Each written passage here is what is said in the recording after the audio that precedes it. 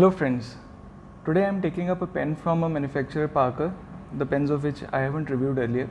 This one is uh, the color which is probably one of the, the top 5 which I own.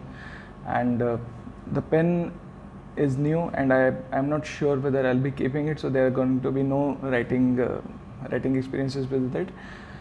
But the pen is probably one of the most stunning in in my view now this is a pen which has been uh, re-released in 2006 because of the initial success of uh, their commemorative edition in 2000 uh, in 1995 the pen is Parker Duofold Mandarin Yellow and the edition which was released in 2006 was Cloisonne now, uh, initially the Duofold Red was a big hit in 1920s and then George Parker said that the story goes he was scouting for ideas and then he acquired a, a vase in the eastern market and the vase had the the artwork called cloisonne and cloisonne is basically the art where gems enamels or glass the pieces are laid edge to edge separated by flattened metal wires and there is a metal backing on that uh, at the back.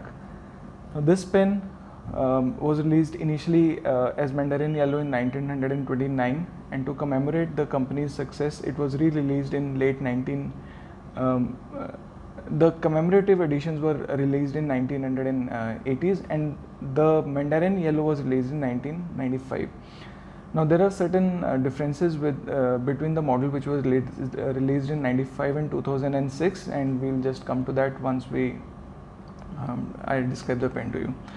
Now this pen comes in a very beautiful large box. This is enamel coated. It's got a metal plate in the center saying uh, mentioning the Parker logo and there is a small art design on the sides of the margin of this. The pen this box is very heavy and it does have a small uh, suede patch on the on the bottom just to make the placing of this comfortable. Once you open, there is uh, etching on the back, very beautiful design, Parker, uh, Cloisonne limited edition, by appointment to Her Majesty the Queen manufacturer. So Parker is the official manufacturer for the royal family. It's got some beautiful hinges on the side, and this obviously this is manufactured about 15 years back, but it hasn't lost its polish till now. You have a cloth which is for polishing the pen and it's it's got very very beautiful Parker logo in the center uh, with and golden uh, golden print on that. And you have the pen a certificate and a ink Parker penmanship.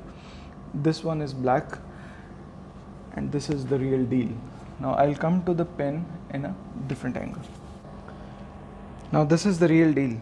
The pen itself you have the the barrel marked in retro design duofold you have Georges Parker Parker Pen Company. This is a limited edition of 3900 pens only while the one released in 1995 was of about 10,000 odd numbers.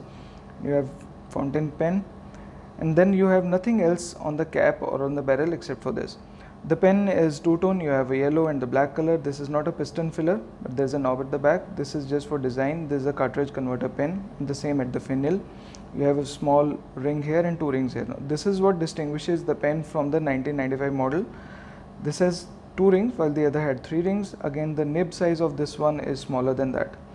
And what you have at the finial is a brilliant engraving of duofold cloisonne and you have that same artwork uh, the yellow vase which was I mentioned earlier has been put here as well.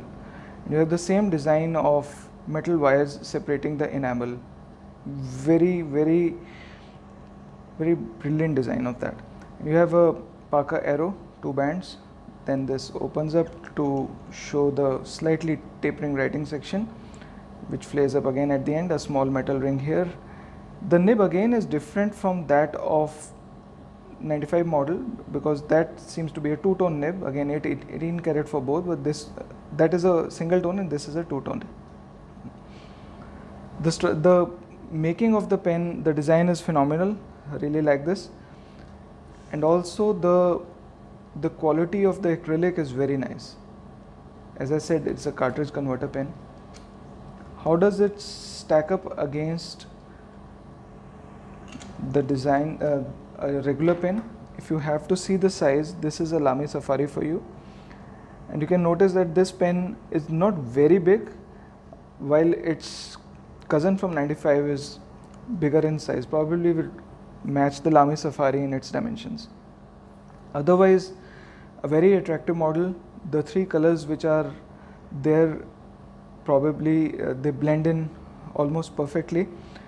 The design the engraving the finial everything works well. And how does it write? Well i'm not sure if it's going to stay with me or i'll if i'll ever ink it but i'll just try to scribble few lines on a fountain pen friendly paper. I've not dipped it in ink or i won't be dipping it in water as well it does write as all the Parker Duofold nibs do, very smooth with a very slight hint of feedback which I think won't be there if it has been inked in a good wet ink.